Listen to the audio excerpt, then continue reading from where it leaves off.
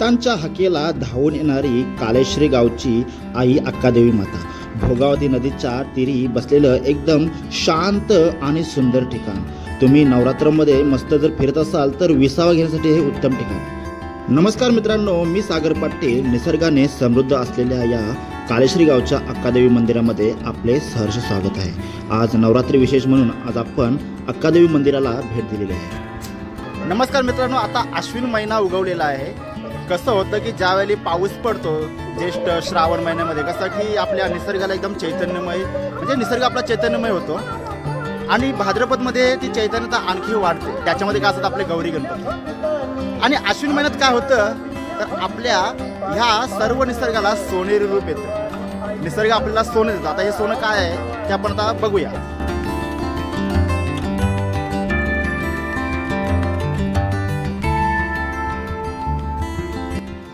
बघितलं सोनं? आणि याचबरोबर काय येते? तर नवरात्र. तर नवरात्र आपण कशी साजरी करतो? की आपण घटस्थापना करतो देवी मांडतो गरबा खेळतो रात्री विविध प्रकारचे खेळ खेळतो. आणि त्याचबरोबर आणखी एक आपली जुनी परंपरा म्हणजे देवदर्शन. म्हणजे आपल्या विभागात जे जे काही देव म्हणजे मंदिरं आहेत त्यांचे आपण देवदर्शन करतो. आता आपण आई भवानी मातेचं दर्शन केलेलं आहे. आता आपण कुठे आलो माहिती आहे का? की पेन तालुक्यातील खारीपाठामध्ये आता आपण आलेलो आहोत कालेश्री येथे अक्कादेवी मातेचे दर्शन करायला. थोडा आपण महिमा विचारू आणि थोडाफार म्हणजे बरीच अशी या देवस्थानाबद्दल आपण माहिती घेऊ. जेणेकरून या देवस्थानाचा प्रसार हा सगळीकडे व्हावा हा आपला मुख्य उद्देश हे समोर जे आहे ते कालेश्री गाव आहे आणि बाजूला आपण जर पाहिलं तर अक्कादेवी मातेचं मंदिर दिसतं. नवरात्रमध्ये बरेच भाविक भक्त दर्शनाला येतात तर बाजूला जाऊया आपण.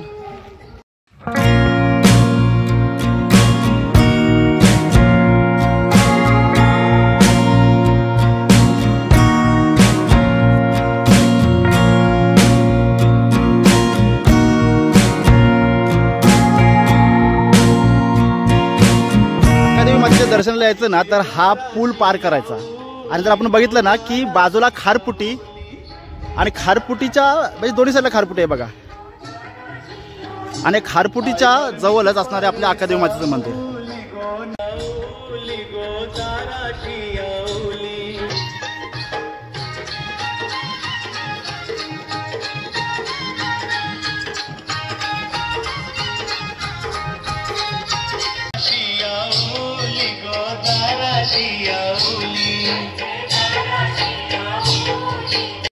ह्या वेळचा आपला अनुभव वेगळा आहे. जाऊया आपण अक्कादेवी मातेच्या दर्शनाला.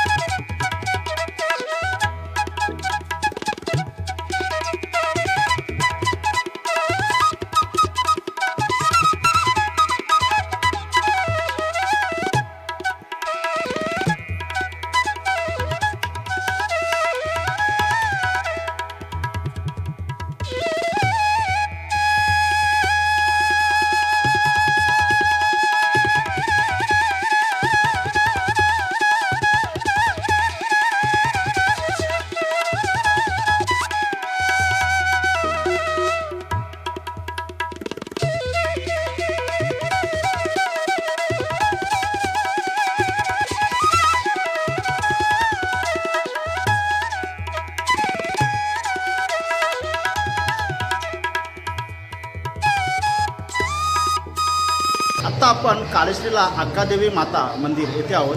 आपण साईच्या भावनेकडे दर्शनाला गेलो आपण खरोशीला दर्शनाला गेलो आता आपण वाशीच्या दर्शनाला गेलो केलो त्यामुळे आपण काय करतो की खारीमार फिरता फिरता एक शेवटचा विसावा म्हणून आपण अक्कादेवीवर येतो. कारण इथं आल्यावर इथला असणारा आजूबाजूचं एकदम वातावरण एकदम निसर्गरम्य असं वातावरण असतं.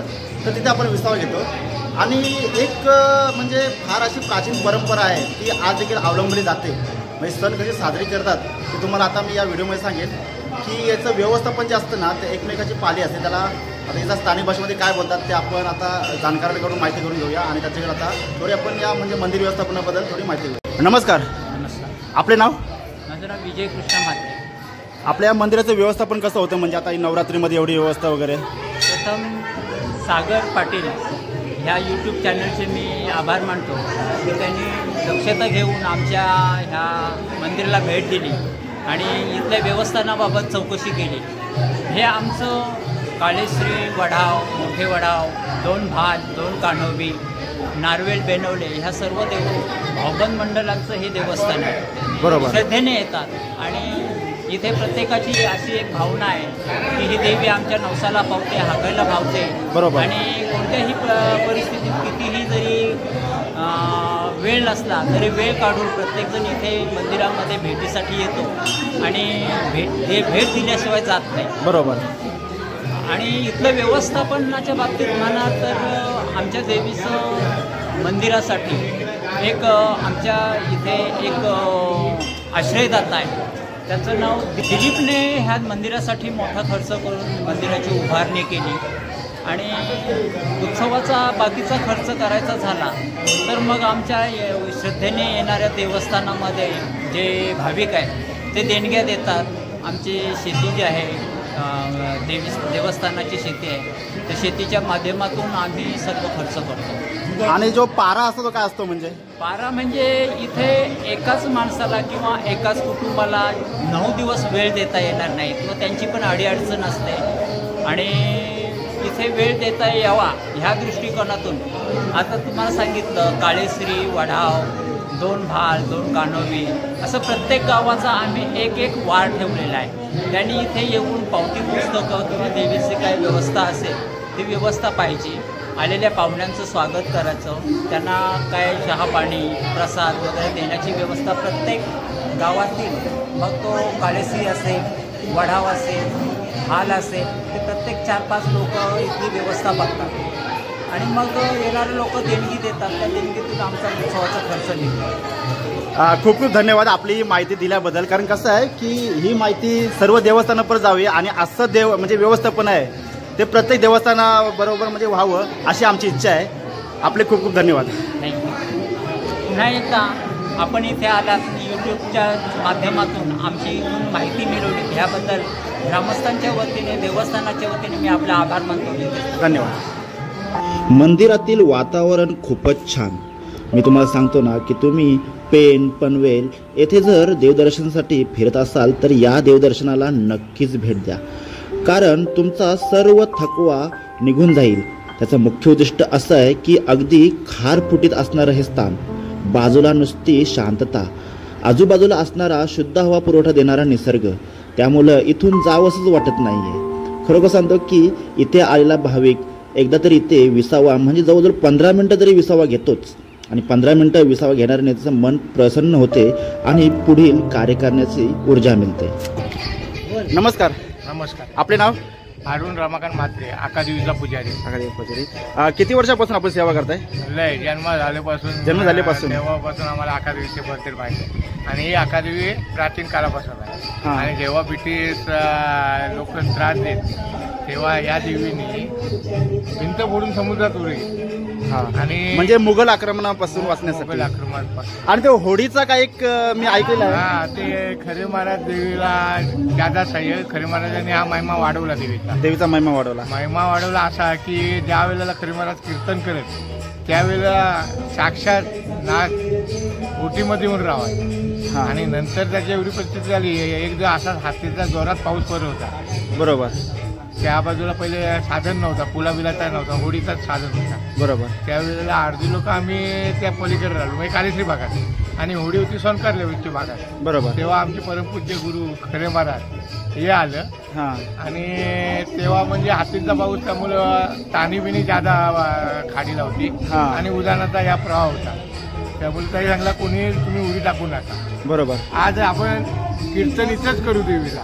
हा. तर देवीचा जागरण तिथं करायला जरी सुरुवात केली आणि शंकरच्या बाजून आवाज दिला थांबा कोण येऊ नका होडीत आणि ती शेऊल भरलेली होडी जशी तशी त्या महाराजांची म्हणजे आमच्या आमची जेवढी लोक होती तिथं आली आणि ती लोक इकडं आली.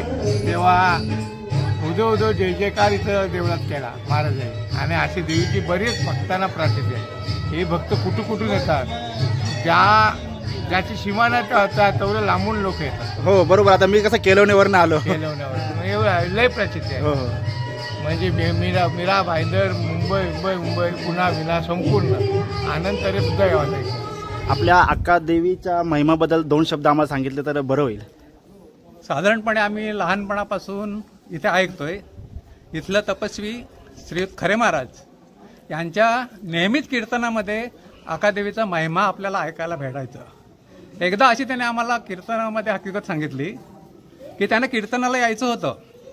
ह्या खाडीच्या पलीकडे ते राहिले होते. होडीवाला कोणीही त्यावेळेला नव्हता. पण त्याने देवीचा धावा केला.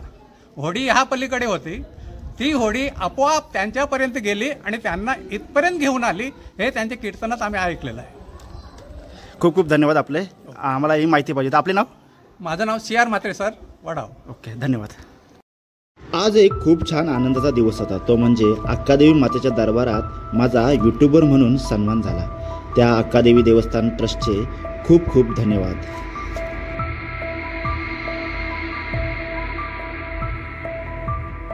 नवरात्रीमध्ये तुम्ही जर पेनमध्ये दर्शन येत असाल म्हणजे अक्कादेवीच्या दर्शन येत असाल आई वर्सोच्या दर्शन येत असाल तर कालेश्री येथे जरूर या.